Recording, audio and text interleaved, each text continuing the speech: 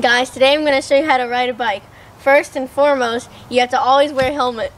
Shoot. there you go. My hair is going to look so weird. The way I learned was I went on a small hill and I came down and I learned how to balance myself.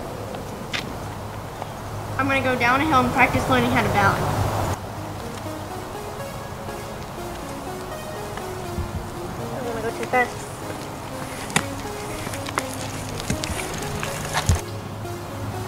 I practice over and over, going down a small hill, practicing my balance.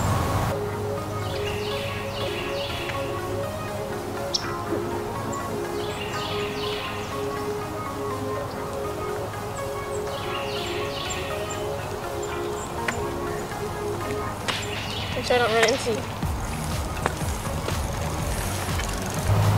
I hold my legs out.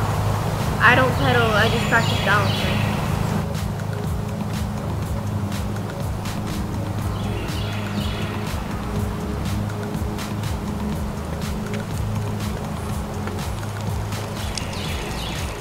Once you've learned how to balance the bike, you can go on a flat surface and start pedaling.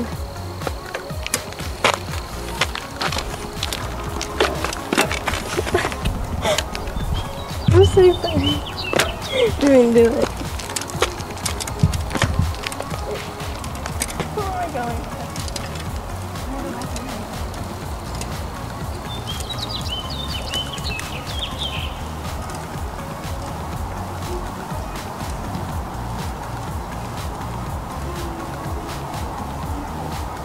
Guys, I found out that the faster you pedal, the easier it is to balance your bike.